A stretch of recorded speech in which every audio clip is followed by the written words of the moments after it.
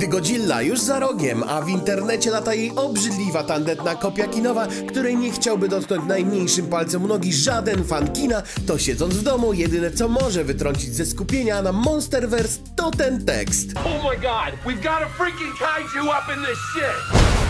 Jak co what the fuck error.jpg? Taka moja reakcja była na nowy zwiastun Legionu Samobójców, który wparował jak dziki do internetu. Przeanalizowałem z głębsza temat i szykuje się naprawdę godna rozrywka od Jamesa Gana. Usiądźcie wygodnie, bo trochę pogadam.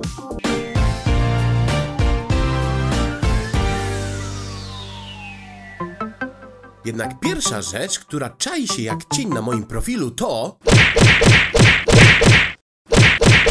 Dlatego na tak dużą liczbę pytań odpowiadam dużą ilością pozdrowień. Pozdrawiam, pozdrawiam, pozdrawiam, pozdrawiam, pozdrawiam, pozdrawiam, pozdrawiam, pozdrawiam, pozdrawiam, pozdrawiam, pozdrawiam, pozdrawiam! Gaduły kochane, dziękuję, że jesteście. Pozdrawiam was jeszcze raz i to wszystkich.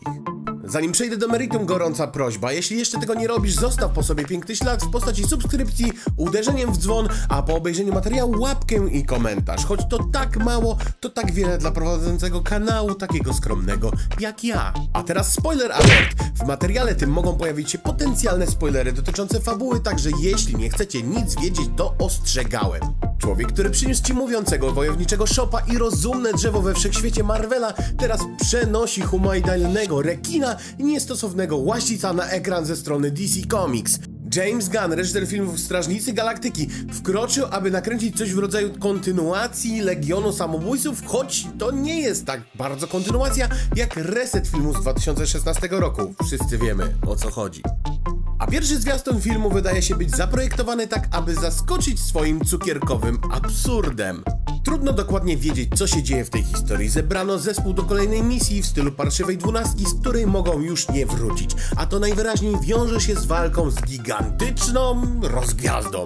Zwiastun filmu Jamesa Gana, Legion Samobójców, jedyne co narobił, to narodził dużo pytań, nie wyjaśniając za grosz fabuły. I chociaż ten nowy materiał skupia się bardziej na humorze i ultra przemocy niż na ujawnianiu fabuły najnowszego filmu DC, uczymy się jednego ważnego szczegółu. Task Force X będzie musiało walczyć ze Starro. Że kim? Inaczej znany jako pierwszy super złoczyńca w Lidze Sprawiedliwości i jeden z najpotężniejszych wilanów opierających się na mocy psychicznej z DC Universe. No ale dobra, zaraz, chwila, stop. Do cholery, kto to jest Starro? Niektórzy złoczyńcy są dokładnie tym, kim i czym się wydają. Starro to gigantyczny obcy pasożyt, który przypomina rozgwiazdę. Jego niekończące się pragnienie podboju zabrało go z jednego końca DCU na drugi, szukając światów do zniewolenia. Pomiędzy swoimi ogromnymi rozmiarami, niesamowitymi mocami psychicznymi i zdolnościami do rozmnażania milionów zarodników, Starro jest niemal niepowstrzymaną siłą. I ten opis idealnie spina się z przeciekami pierwszych minut filmu, w którym zespół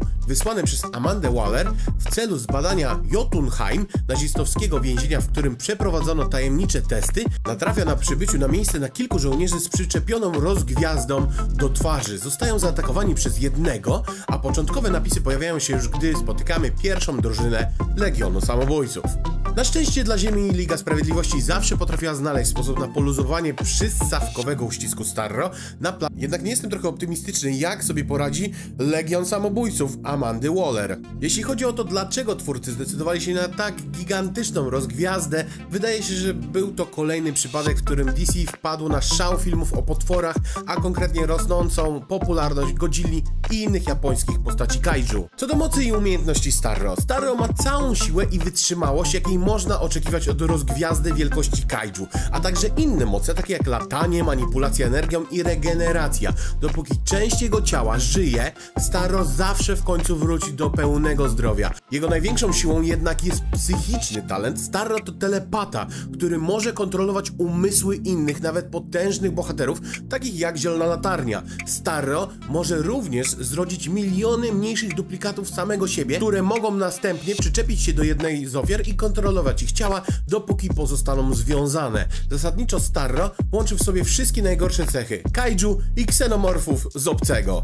Zwykle Starro w swojej dojrzałej postaci ma kilkaset stóp wzrostu, wystarczy, aby przewrócił budynek i ogólnie siać spustoszenie w dużym mieście, ale w niektórych przypadkach urósł na tyle, by pokryć całe oceany i planety. Na szczęście dla bohaterów Ziemi Starro ma kilka słabych punktów, które można łatwo wykorzystać. Często te słabości wydają się być całkowicie arbitralnymi środkami fabularnymi.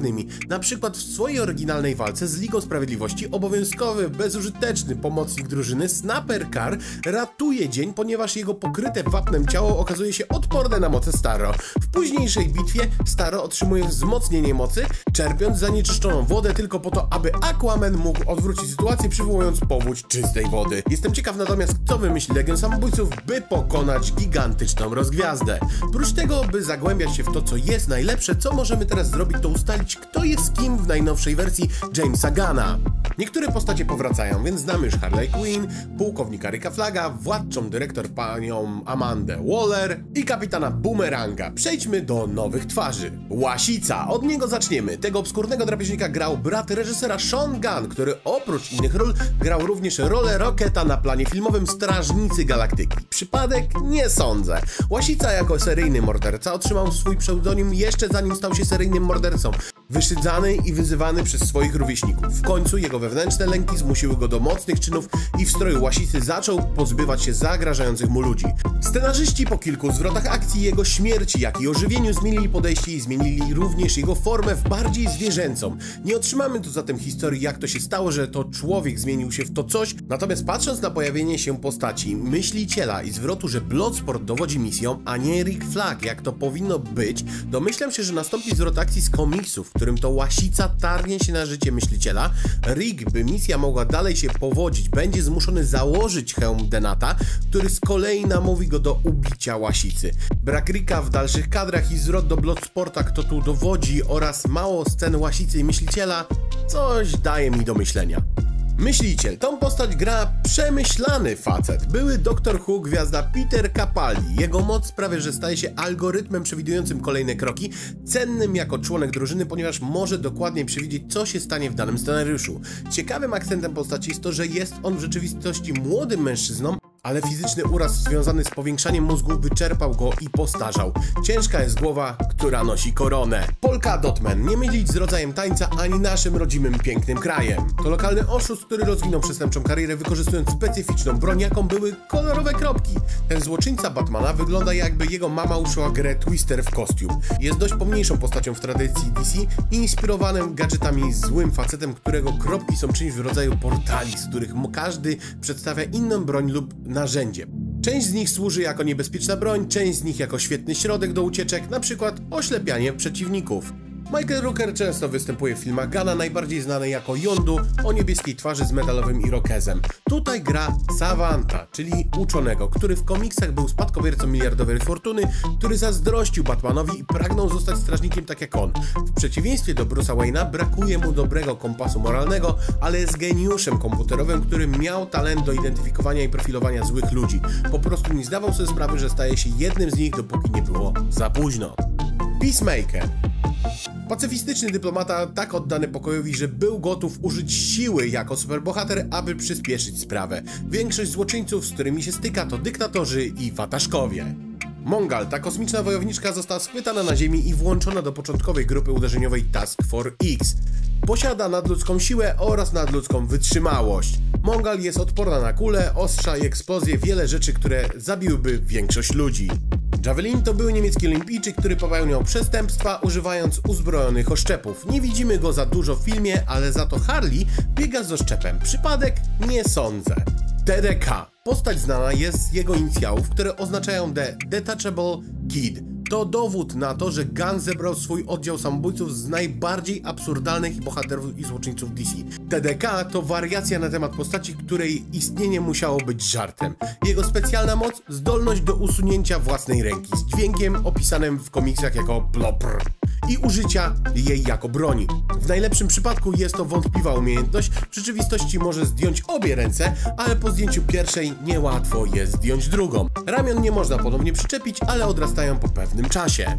Bloodsport. Po miesiącach spekulacji w końcu wiemy, kogo zagra Idris Elba. Nie, to nie Deadshot, Deathstroke, ani Brązowy Tygrys. Zamiast tego Elba gra nieznanego, ale wciąż znaczącego złoczyńcę Supermana o imieniu Bloodsport. W sekcji zdolności na wiki tego złoczyńcy jest po prostu napisane broń palna. Bloodsport Idrisa Elby jest jedyną postacią, która ma sens w tej absurdalnej drużynie. Wydaje się, że jest głosem publiczności, która zdaje sobie sprawę, że w jakiś sposób znalazł się w drużynie najpotężniejszych przegranych na świecie.